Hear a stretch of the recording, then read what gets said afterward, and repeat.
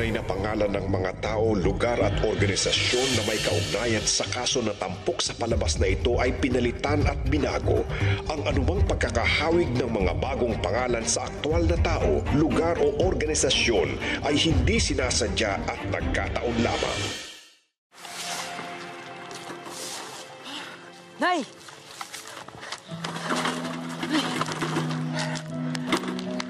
Okay lang ako. Pinadala ka na lang ako sa inyo. Pero mabuti naman o, ayos lang kayo. Pasensya ka na. Nagmamadali kasi ako na mabenta ang paninda ko. At mabuti naman na ubos. At hindi rin ako inabutin ng sarhento. Mabuti naman po kung ganun. Ay, Nay, nga pala. Oh, ano ito? Disconnection ho ng kuryente. Nahuli ko kasi tayo eh. Paano po yun yung enrollment ko pa? Oh, ayang ka na naman. Sinabi ko naman sa'yo, akong bahala dito. Ihuli ko na itong sa kuryente. Siyempre, ang unahin ko, anak, yung tuition fee mo. At alam mo, malakas ang kutob ko. Mananalo ako ngayon sa ending. Nangangati na nga yung mga palad ko eh. Basta, ipinapangako ko sa'yo, maibibigay ko ang pang tuition fee mo ngayong linggong ito. Eh, Nay, ganito na lang ho. Hindi na lang po muna ako magbabayad ng buo para maliit lang po yung babayaran nyo. Hindi na. Gusto ko, mag-full load ka para sabay-sabay kayo ng mga kaklase mo na mag-graduate. Kung hindi nga lang nagkakahulihan ngayon eh, malamang maibigay ko na ang halaga na kailangan mo sa akin. Nay, ba't ho kasi hindi lang kayo pwesto sa legal? Para po nakakapaghanap buhay pa kayo ng maayos, hindi kayo nagagambala, permanente na. Pwesto, kapag sinabi mong may pwesto, may renta. Permanenteng upa. Alam mo naman ang nanay mo. Huwag na, no? Sayang ang pera, iipunin ko na lang. Tsaka isa pa, maingat naman ang nanay mo. Nay, payagan nyo na kasi ako mag-working student.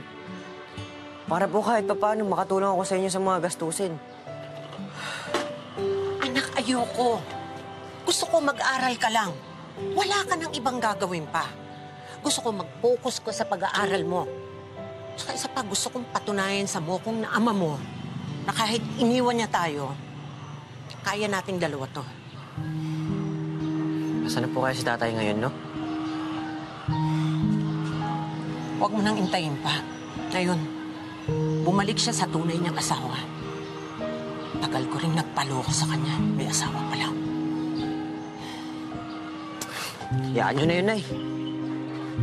Basta magkasama tayong dalawa, solid tayo. Oo naman, no? Ush. Ikaw lang. Sapat na. Mm, love ko yata itong anak kong to. Love you, Nay. love you. Yan, pagpag, pagpag, pampaswerte, apir! Nako, mga ate! Kuya, bili na kayo dito! 50 o buy one, take one! Ako, murang-mura. Kung gusto niyo naman, serbisyo ko. Marunong po ako maglaba, magtayo ng damit, pamlansya, magkargador. Bili na po kayo. Naku, nakagaganda po ng mga prutas ko. Ay, naku, madam! Yan, bili na po tayo, bili na po tayo. Magkano kilo dito? Madam, yan. 50 na lang sa inyo. Pag binili nyo yan, talaga, mura lang. At saka isa pa, kung gusto nyo naman, serbisyo ko, bibigay ko sa inyo, murang-mura lang. May discount pa. Ah, mukhang magaling kang mang-akit ng customer. Siguro, marami kang nabebenta. Ay, nako, hindi naman po sa pagyayabang. Sa buong maghapon, talagang limas lahat ng paninda ko. Kasi po, yung anak ko sa private school ko po pinapaaral yun eh. Eh, ito lang naman po ang pinagkakakitaan ko. Alam mo, yan nga ang gusto kong sabihin sa'yo. Ramdam ko na may paparating na swerte sa'yo. Sa akin? Talaga, ma'am? Naku! Ma'am, baka naman po pwedeng magpahula sa inyo? Ah, hindi naman sa pagmamayabang, pero mahal ang bayad sa akin. pero dahil binigyan mo ko ng malaking discount at mukhang mabait ka naman, Oo naman po. sige, libre na lang sa'yo. Hindi na kita sisingilin ng professional fee ko. Naku, maraming salamat. Ang bait niyo naman po sa akin. Salamat po. Rodora na lang ang itawag mo sa akin. Pero sa Amerika, kilala ko bilang Madam Rodora. Ako po si Anita. Anita po ang itawag niyo sa akin. Anita, akin ang mga kamay mo. Ay, sandali lang po. Lilinisin ko na. Ayan po, ayan po ang kamay ko.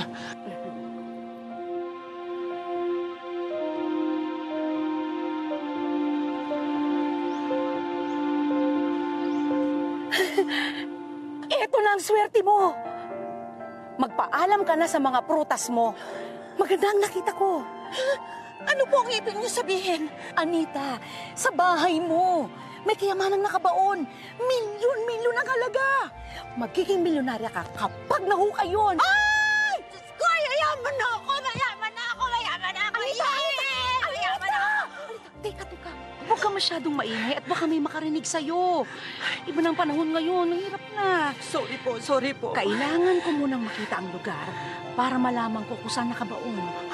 Oo, ngayon din. Pupunta Oh, sige, tayo sige. dun sa bahay ko, madam. Halika na. Umalis na po tayo dito. Oh, sige, sige. Nararamdaman niyo na? Madam, ano? May nararamdaman ka?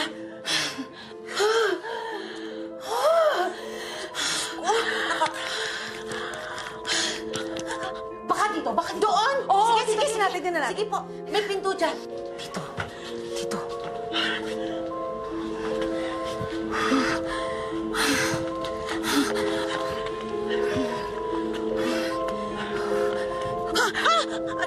Dito! Dito nakabaon ang ginto. Ay! Dito! Dito nakabaon ng ginto! Oo, dito, dito. Medyo malalim. If I'm not mistaken, Japanese era pa ang mga gintong to. Parte ito nung tinatawag na Yamashita's Treasure.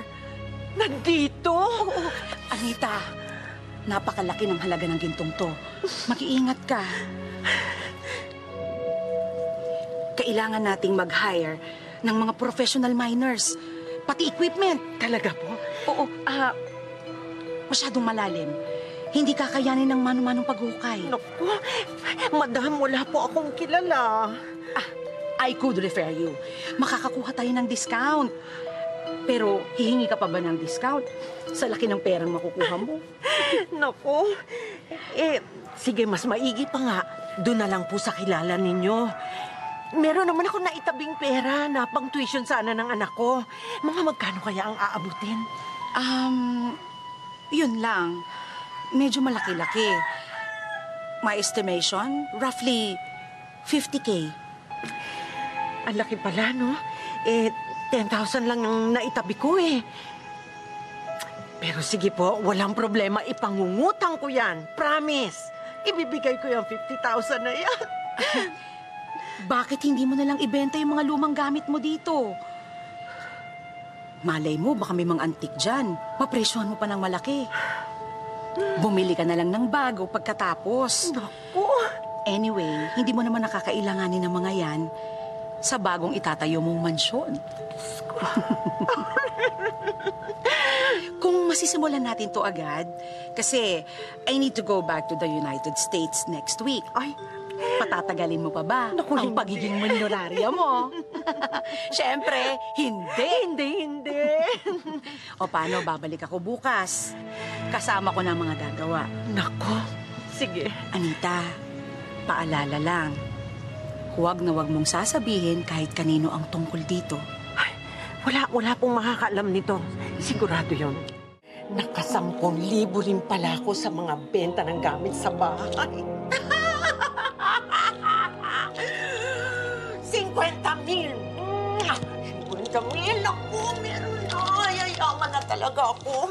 Sinabi ko na nga ba, ikaw ang lucky charm ko. Appear!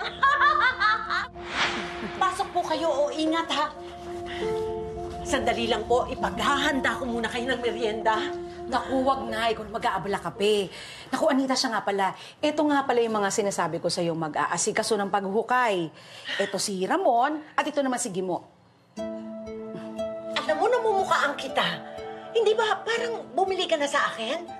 Naku, suki! Di ba? Oo, ako nga yun. Naku, Napakaliit talaga ng mundo. Nakatakda na talaga ang pagdating ng swerte sa buhay ko. Oo nga, di ba? Oo. Eh, teka. Yung pera, handa na ba? Ay! Naku, madam, nabuo ko. Sinunod ko ang payo mo. Talaga naman pinenta ko ang lahat ng gamit ko. Limas na yan. Naku, pakiusap lang po sana. Huwag po sanang magtagal. Kasi nakasalalay dyan ang pag-aaral ng anak ko. Magtiwala ka. Mabilis magtrabaho tong mga tao ko. Hindi aabutin ng tatlong araw. Naku talaga. Maraming maraming salamat po talaga. yan, kompletong kompleto yan, madam. Ah,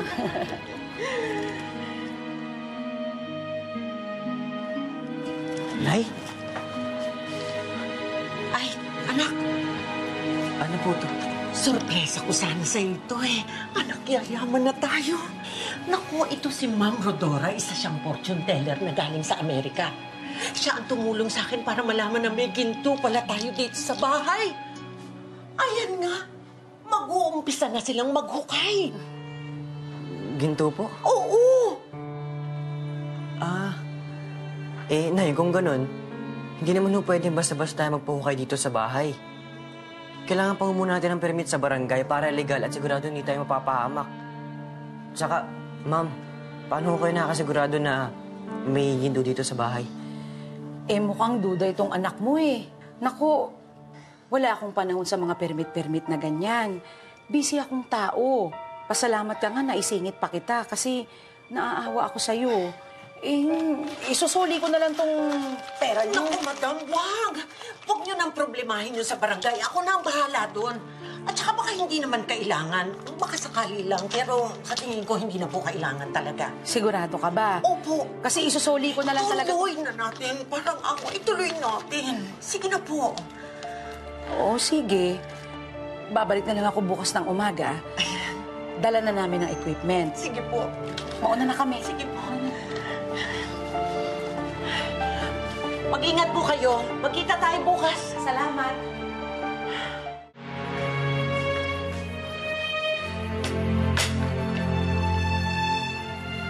Nay. Nay, kain na ho tayo. Kanino pa po kayo hindi kumakain eh. Baka po bigla na lang kayo matumba dyan. Nay? Nay?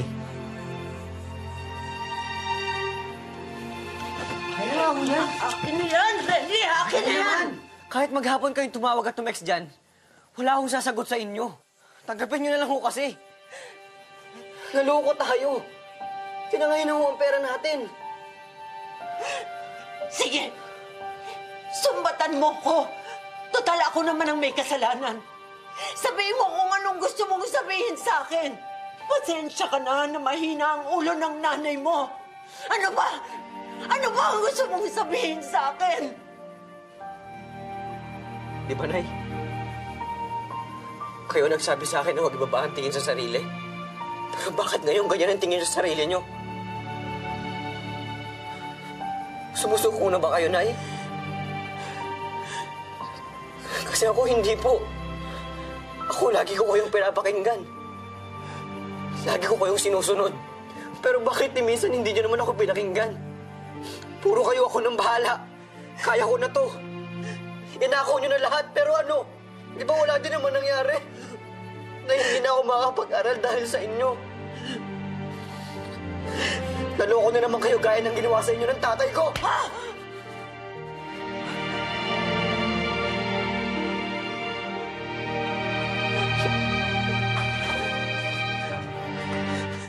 ho kayo. Ano ho ba naging problema? Chen, nabudol po ako. Sinabi niya po na manghuhula siya. Pagkatapos pinaniwala niya po ako na meron pong kayamanan sa bahay namin. Naniwala naman ako. Binigyan ko po siya ng malaking halaga para po hukayin yung kayamanan.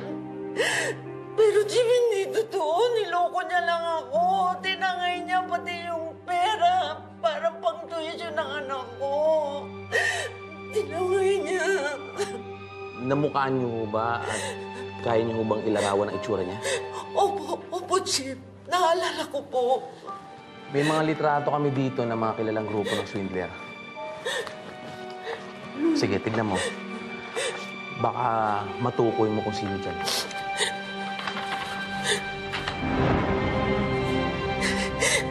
Ito yung babaeng.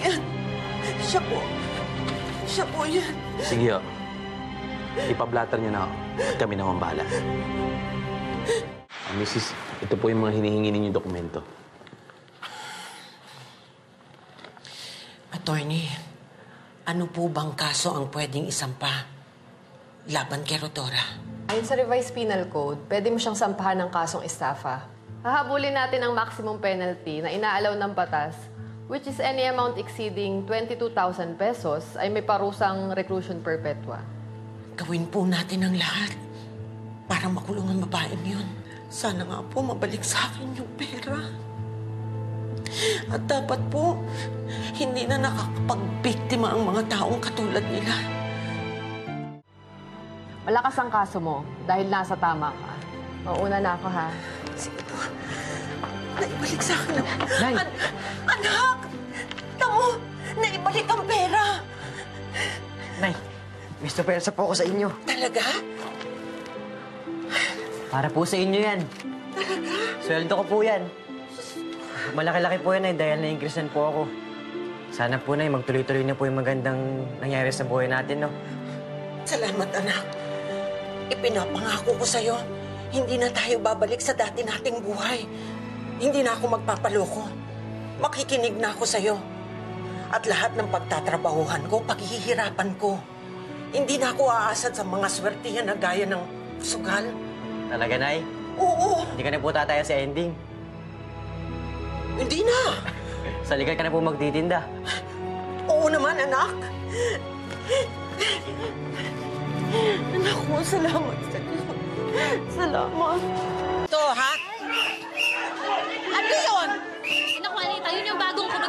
Wedding ngayon. Ay, nako. Tapos na ako dyan, ano? Oh. oh anak, oh, dahan-dahan. Yan ang panguli? Oo, Nay. Last na po yun. Ah, sige, sige. Oy, nako, ko. na ako, sige. Eskwelahan mo, ha? Nay, pagkatapos na pagkatapos ko po sa school, dadaan ko na po ibang order mo, ha? Naku, napakabait talaga ng anak ko. Huwag mong kalimutan na daanan ako para sabay tayong umuwi. Siyempre ha? naman, Nay. Oo. O sige, basta mag-iingat ka. Ay, naku, muti ko pang makalimutan. Ito pala ang baon mo. ha? Baon. Sige, Nay. Una na po ako. Ay, Love you. Nay. I love you! Ingat ka po, ha? Ikaw din, mag-ingat ka. Opo. Huwag mo akong kalimutan, ha? I love you! Bye,